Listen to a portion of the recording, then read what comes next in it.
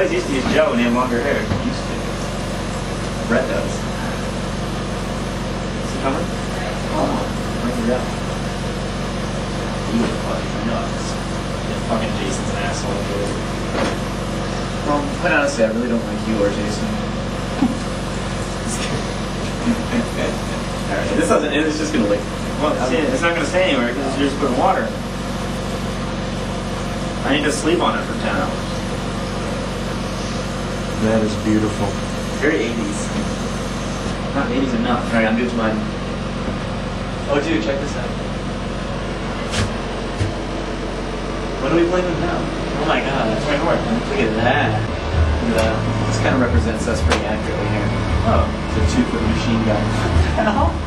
We had nothing to do with that? that. But no, almost. Well, J- Jason's got this. You saw, remember that one Yeah, level where he yeah. has the tooth? I don't know who designed that, but if I find them tonight, then I really need to talk to them. Hey, I'm glad that we got the Yeah, we got the front front thing. So cool. Now this one too, dude. Alright, this hair thing's a disaster. Um, I think toilet water is a little more um, like gel Gillette.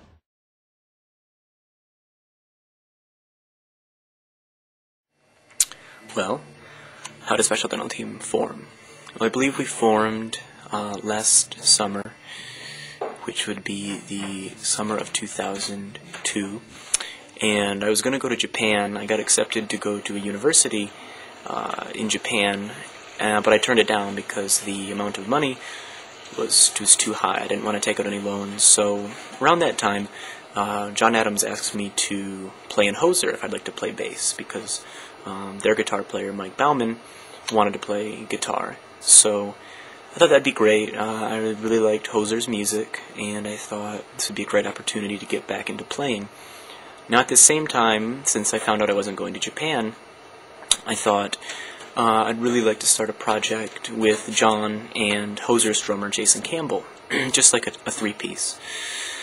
And so we tossed that idea around, and Jason was uh, he was interested. So so uh, after uh, you know I found out I wasn't going to Japan, uh, we thought, okay, well we're going to make this happen. We're going to do this. Originally, it was a side project of um, of Hoser, which was uh, my project. Um, but we wrote an album over that summer, vacations. Uh, a special dental team wrote an album over that summer, and it became clear that we were a lot more organized than Hoser was. So it, Hoser just kind of fizzled out. We were looking for jobs, I believe, right after school had ended, and we were searching on the internet for some jobs, and we saw a like an ad that said, you know, come join our special dental team. So, since we didn't have a name for the band, we thought, you know, how appropriate. This sounds nice. It just sounds nice to say. Special dental team, special dental team, right? Kind of has that sound that uh, makes it appealing. I think it's fun to say.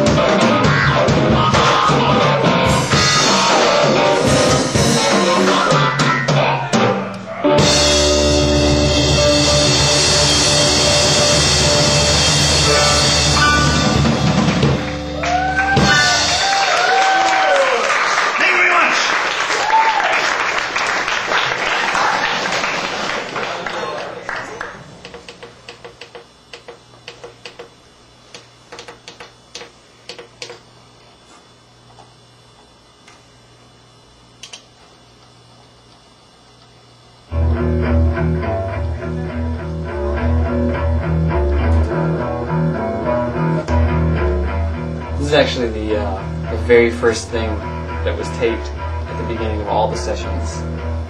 Was, uh, after we got the mics all set up and running, you guys were just jamming, and I uh, just took a, a test to see if it was all working out. And you kind of, I don't think you knew I was doing anything, so you just kind of jammed on for a couple minutes. But then when it ended, you decided that you just started and actually grab the master take of, of Nilbog. So.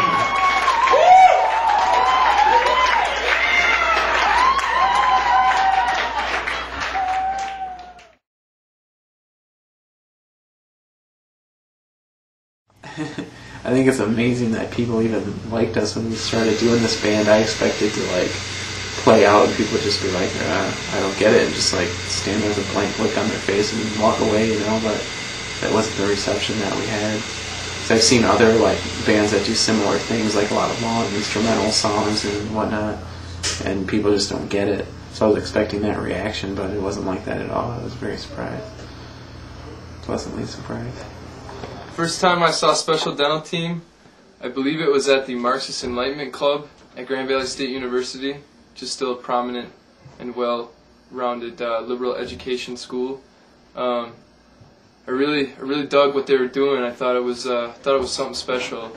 We actually played a show there. I'm a member of a, uh, a band that used to be around that is no more called Frenchy Perilous Organization. And uh, we got up on stage thinking we were going to rock everybody out. And uh, I knew after I saw Special Dental Team that our mission was a huge failure because those guys just rocked my ass off. There was one concert at Skelletones that I particularly enjoyed. I believe everyone dressed up with white tank tops. Was that it? And they had blood all over everywhere.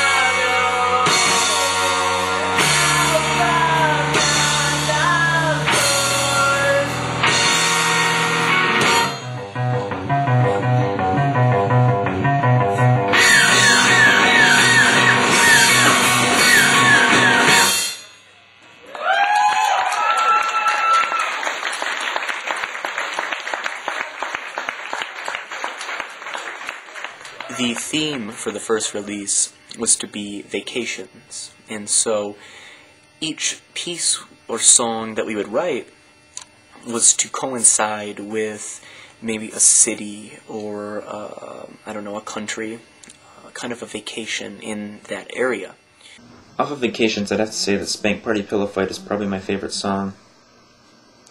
Uh, Jamie arranged most of it, and um, I think it's really well well put together piece of music. Um, he came up with the bass line, and uh, then I wrote the keyboard part, and Jason wrote the drum part.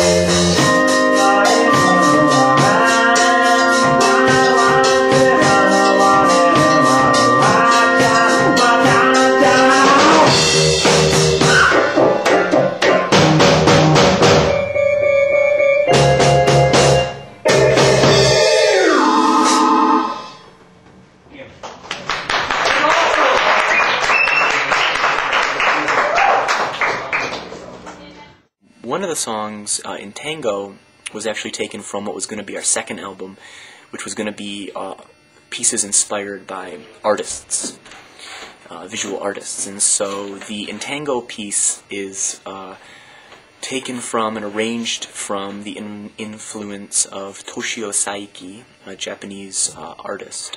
And I think if I had to pick a favorite song from Vacations, I think at this point it would be uh, it would be that piece in Tango. Really beautiful uh, improv starts the piece, and uh, I just love the feeling of, of the piece. Uh, it's difficult and uh, it's uh, in, uh, just very very fun to play. Very fun piece to play for a for a bassist.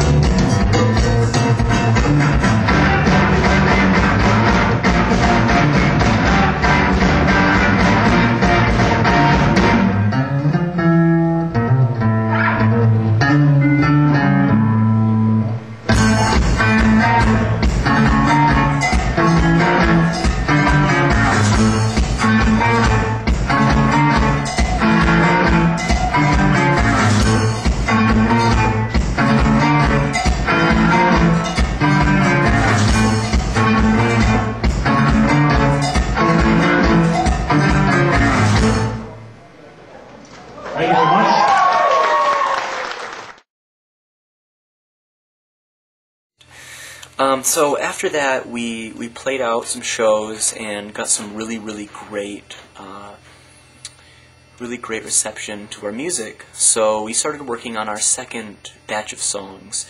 And then for that batch of songs, it was interesting because we just didn't we just didn't want to rush into like, okay, well we're gonna have to make some tightly knit uh, project. Like this is gonna be the theme now for this project. Uh, instead, it was like, well, we don't really know what we want to do, so let's make this next project focus around kind of indeterminacy or uncertainty, if you will. And uh, so I guess what flowed from that was the title of the second album, uh, The Indeterminacy of Existence.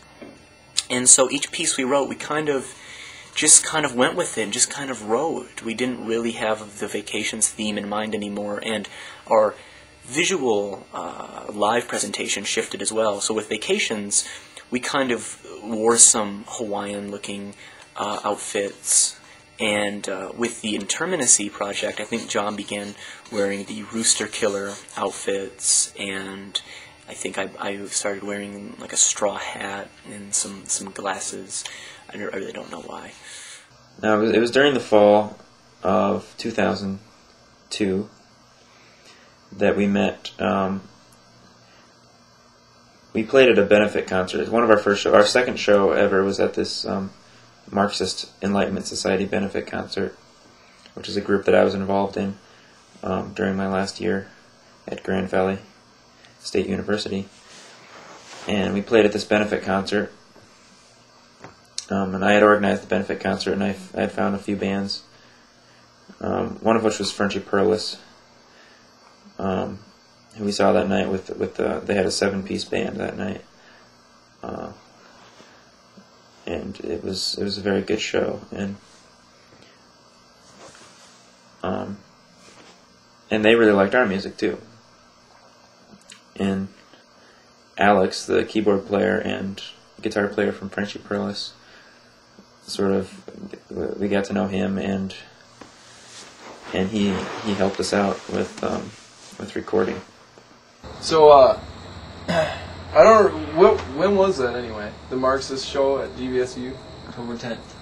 What year? Twenty out two. Twenty 2002. 2002. yeah, man. I, you remember our, our initial. That was about our worst possible show. yeah, it was. But we thought we were gonna go there and just fucking and throw down. Throw down. We were like, everybody's like, dude, Dental Team, man, they're better than Tool. And then yeah, and we were like, we were like, whatever, man, whatever. These bands, like, we Dental Team was the only contender at this show that we were, and everybody else, I'm sure, was like, yeah, we're playing the Marxist show. We were like, dude, we're gonna kick everybody's ass, you know. We thought we Everybody- had the next new thing. everybody who was our But we, but two or three days later, we played it afterwards. With we invited and we invited on, on the basis of their performance. we because they were so amazing, and we wanted somebody to just make us look good. I think is what it was. But they were just man, and we didn't even care at that point. We That's- just wanted to see him play again. That was just vacations too. That wasn't any. of the- Yeah, any that was stuff. like I think that was that was the second performance. Maybe I don't know if it was. I think it was their second. Maybe they'd done like one before that, but but we watched we watched them play that first gig, and I was just blown away. Well, we, we, our show was like For three piece. Our show was like maximum gear for minimum impact. Yeah, Their show was there's a minimum, minimum gear gear. for For, I was just like, man, how is a three piece coming up with this much sound? And it was just like, it was just something I'd never heard before. Really, I I, I had It, it made me kind of think that we we had tried to do a couple things at odd times and stuff like that. You know, And they had It was- successfully It was, it was just it. sort of eye opening to see to see what other bands because we, the bands that we've been playing with for the past months and over during the summer at Toscanos and, and Alpine Lounge and places like that was all, you know, spleen. Yeah. and, and high school, just fresh out of high school. Yeah, fresh so- meat to the scene. So we, we were thinking we were all hot to try. because we were new, Yep. but they were newer. Um, my favorite song, uh, it, I'm not sure how it's pronounced, so no one really is, is um, Unge or something. I don't know why I like it. I like, I guess I like the lyric, um, When Will You Ever Die? I think that's the lyric, and um, kind of watching John freak out on stage, and Jamie too.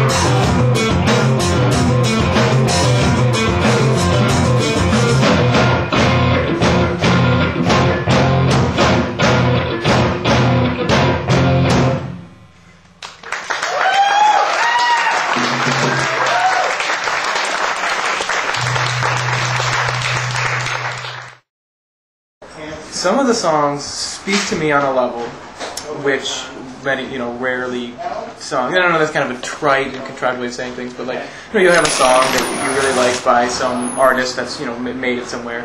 And, uh, and you think, oh, I can really relate to that at this point, or I know someone or something, and you can identify with the song. That's kind of a psychologically speaking. But some of the Special Dental Team songs, I don't find that, and the reason that it is, it's not in the lyrics, and it's really not in the composition. It's in the uh, it's in the package of the instrumental tone, which is kind of a w- weird way of, of saying it, but you know what I mean. Yes. You don't, ass. I'm so drunk. Um, please, please come back. Hello. Hello. because I do like a lot of special de- dental, dental teams music, but I don't. But I find myself often not liking the same songs as like other people that I talk to. Um, like, oh, this is my favorite team. This is my favorite special dental team song. Or, I really like the way this bass line works. That was and, I can see it, but I don't understand. I don't agree with the same. Major conflict. You know what I mean? I, it's, it's hard for me to describe. So what I don't like about Special Dental Team, in a sentence, is uh, sometimes I find the combination of the instruments to be Yeah. very touching harmony, and other times the exact same instruments make a cacophony that I it's intolerable. I don't know. I really enjoy the Risfield song, and I think that I would like to credit myself on the fact that I could strong arm it into some performances. Maybe that's a lie, but is Not it? really. Do you remember how I was annoying with it? I give the Risfield song. So the, the Risfield song I really liked, partly because was it the Was it the what? was it the movie? The movie, I think. I don't know if did that inspire the song or did the song inspire the movie. Something inspired something. That. Yeah, okay. Well, I really enjoyed being able to be inside that joke. Give me your hand. Yes, you are. You are the rooster killer. You kill anyone on sight, except your mother, who's I. But I don't want you to kill just anyone. You know, I could send you to Japan, or to Magdan. But I only want to send you to Indianapolis. Because that is where King Toledo lives, and you shall fuck him good. Mm, Toledo. Now diveth into my map. Diveth! Diveth! Shrink! Yes! Yes! Cock a fucking doodle doo, King Toledo. Your mask is sexy. So are you.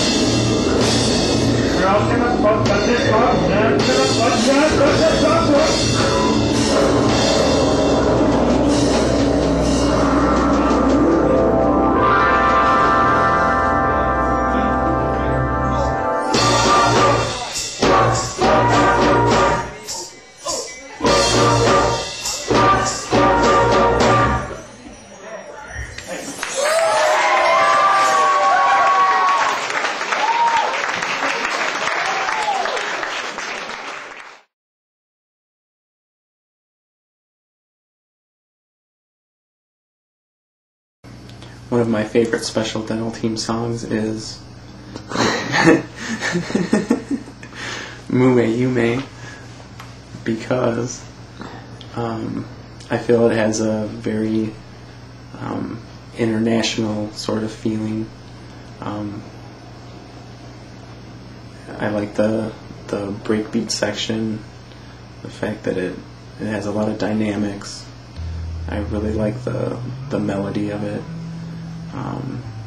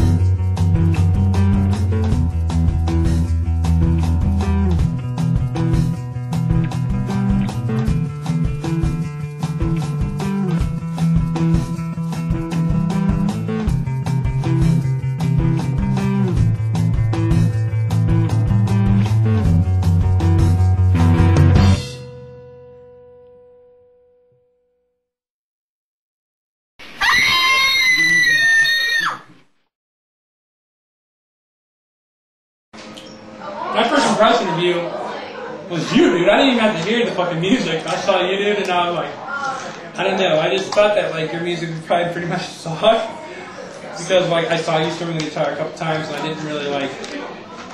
Thought, man, this guy fucking. Did. I don't know. I just thought it was kind of hokey pokey the stuff that you were playing, man. And like, basically, the show that you guys were playing at the calming calming party show. Um, I basically went to that because Alan asked me to. And when I went to it, I was like, oh, I'll just see this band. And, then, and I was actually very, very excited upon the fact of seeing you guys and being able to tell you how much you sucked afterwards. So I, I love telling people how much they suck when they suck. And uh, I was pissed off because I couldn't say that, man. They're my favorite band because they're my best friends. That song, Hello Sunny or whatever, is that what it's called? Sunny 16, whatever, you know? Hello, what Sunny. about? Song fucking sucks, dude. Uh, it just fucking sucks ass. But it did reminisce me of some Talking Head stuff, which was kind of cool.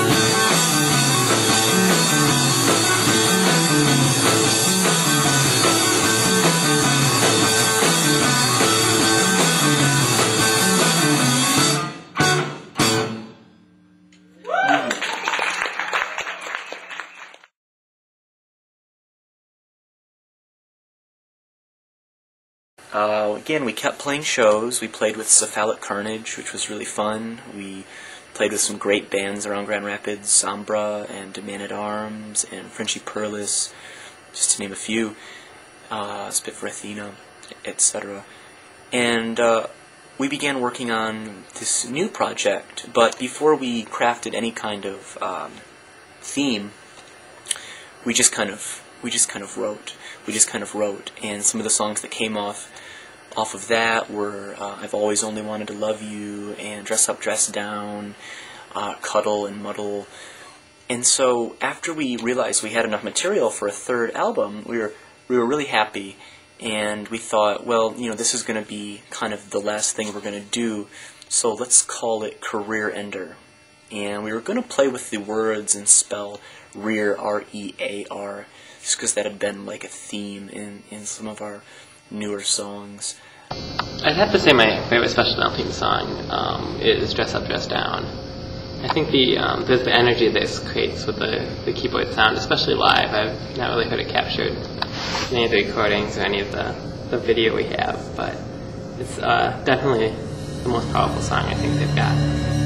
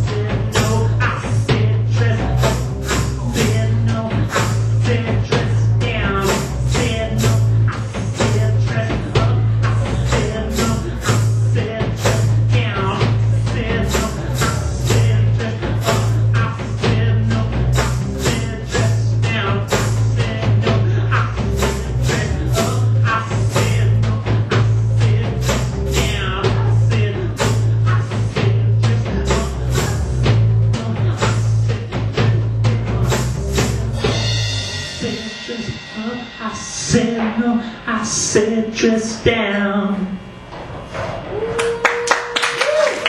Thank you very much. We were such a good team. Um, we'll be selling CDs. You can buy them. Why does that doesn't change my life?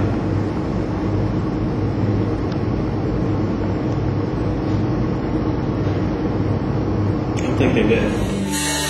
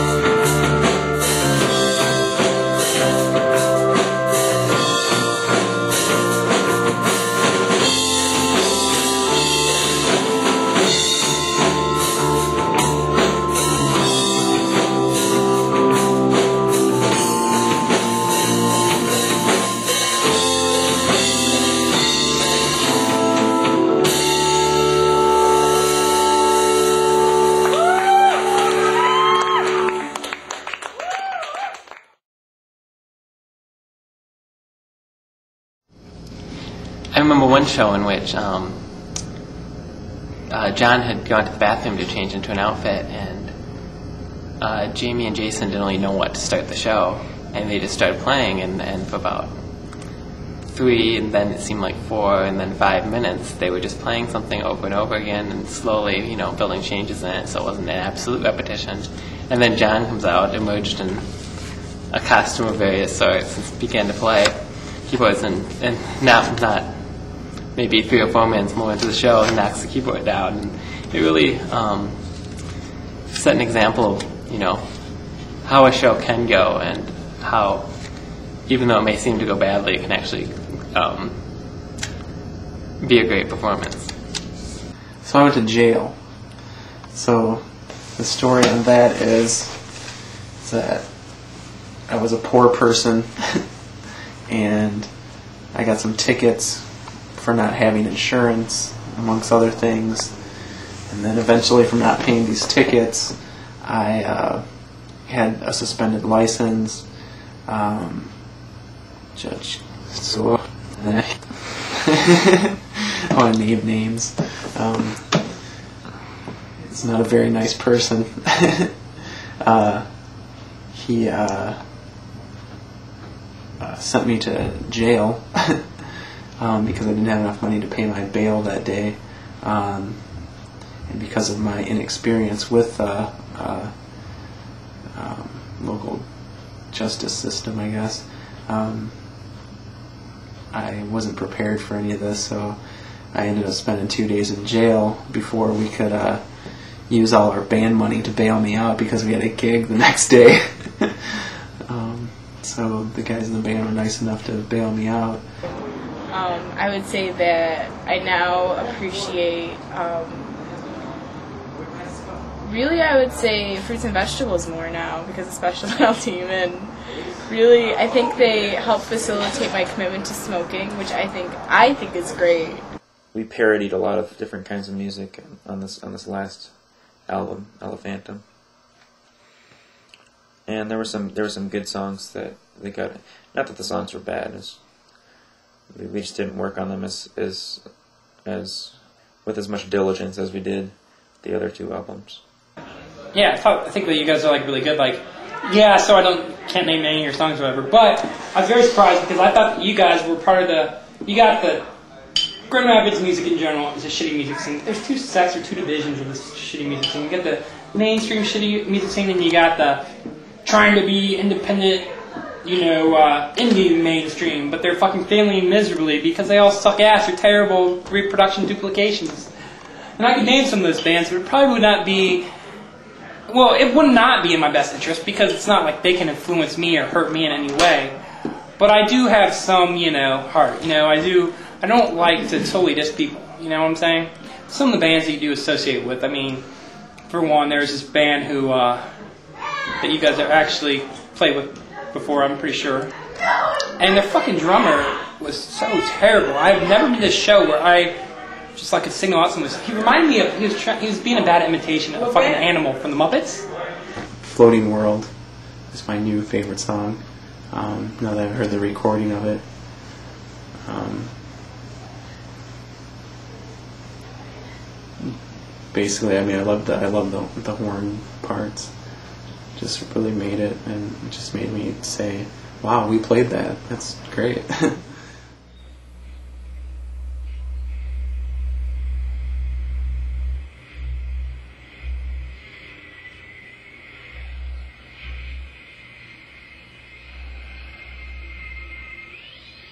Where am I? What kind of a horrible place is this? Have those two goons done with me?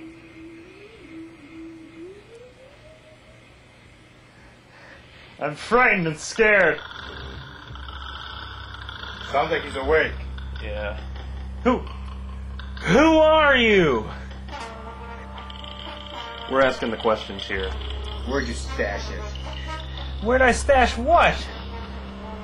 The Liber Cartarum. The Liber Cartarum? I got that from the library. That wasn't a library, that was a museum.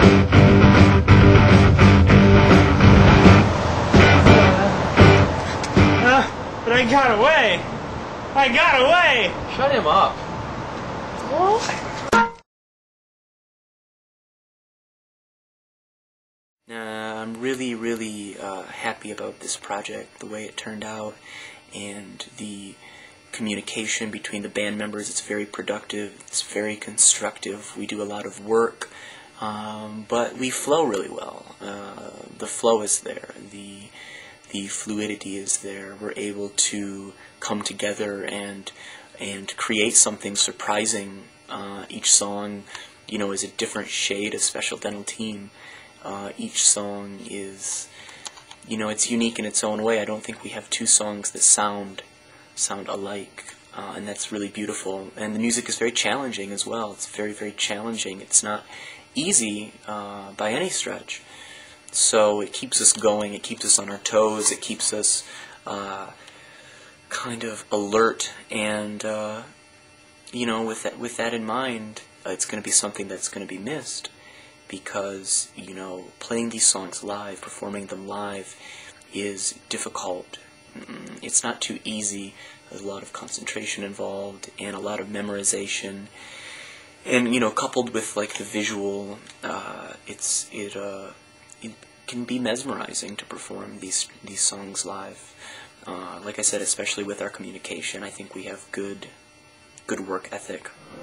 Yeah, so I just thought you were contributing to the crappy, trying to be indie, non-mainstream music, but actually you guys are like good, which is really surprising, isn't it? And kind of pisses me off because this is what I think is going to happen. I think that you guys, my impression of you is that you guys are like one of the awesome band. You could be one of the great indie bands. You could be a band that you know, they talk about the fucking and shit all the time. And I honestly think, I don't know if you guys know that. I don't think you guys know it, but I honestly think that what will happen with you guys is that you guys will not pursue your music much further, and that you guys will just fade before you could even, even, even shine any kind of bright lightness on the sky.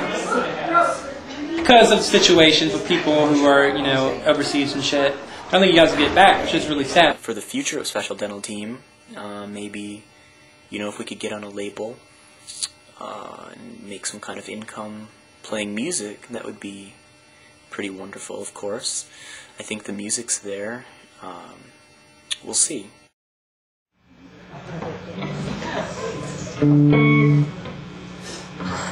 Okay, this is our last song. No! Ever! No! Play more.